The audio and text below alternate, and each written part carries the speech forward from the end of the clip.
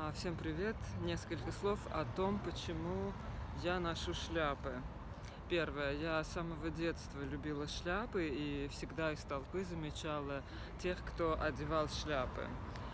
И, наконец, когда у меня появилась эта возможность, я стала заказывать шляпы. А, Почему именно я ношу именно шляпы? Конкретно для меня а, шляпа — это способ как бы быть в некоем домике. То есть, с одной стороны, шляпа меня выделяет из толпы, а с другой стороны, она как бы меня закрывает.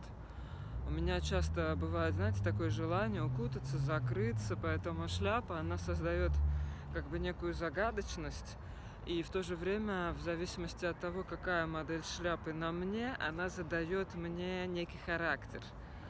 Ну, например, сейчас на мне шляпа цилиндр, и как бы в такой шляпе, сами понимаете, ну, вести себя как-то очень э, грубо или выражаться какими-то странными сленговыми словами, но просто будет несочетаемо. То есть шляпа, она задает некий тон, и мне это нравится. И вообще я люблю шляпы, хоть они дорого стоят, мне не жалко на них потратить деньги, но у меня не так много шляп, я себе, в общем-то, делала пару раз подарок в виде шляпы на свой день рождения. Также я считаю, что шляпа это искусство, потому что, ну, не так много шляпных салонов, которые готовы изготавливать под вас конкретную шляпу. В общем, я считаю это произведением искусства, как и, наверное, какое-нибудь ювелирное украшение, изготовленное индивидуально, да, или каким-то ограниченным экземпляром, а, ограниченными партиями. Поэтому я скорее здесь сочетаю в себе несколько факторов, то есть я ценю труд ремесленников, и я стараюсь на себе их продвигать. Например, каждый раз, когда я одеваю шляпы, я постоянно получаю комментарии, и люди у меня спрашивают, кто это делает и как это делает. То есть Таким образом, я приношу какую-то пользу, на мой взгляд, уникальным мастерам, которые трудятся для того, чтобы необычные люди носили шляпы. Ну и вообще, это, знаете, отдельная культура.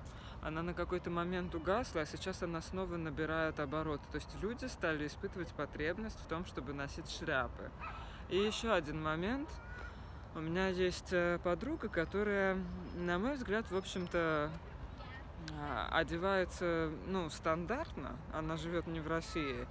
И однажды она мне сказала, что она то ли для фотосессии, то ли для чего одела шляпу, и у нее были интересные ощущения. Она подумала, а почему бы не завести в своем гардеробе шляпу? То есть многие люди просто по своим каким-то привычкам, они в одежде повторяют, э, ну, стандартные вот эти варианты образов, которые диктуют нам, а, я считаю, торговые центры и всякие блогеры. Не всегда это интересно. А, допустим, шляпа, она может вас индивидуализировать. Ведь моделей шляп полно, цветов полно, и настоящая шляпа не может производиться в неограниченном количестве. То есть, как правило, шляпы дизайнерские, кастомные, как и ювелирные изделия, как и кастомные ножи и так далее, они не могут производиться в больших партиях. И, соответственно, этот факт дает мне полагать, что вполне возможно, что кому-то из вас это тоже может быть интересно, полезно, может подойти и дать новые ощущения самого себя. То есть это терапевтический эффект.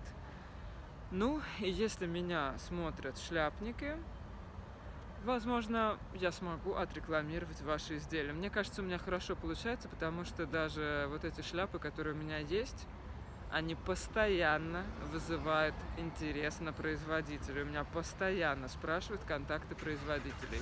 Хорошего дня!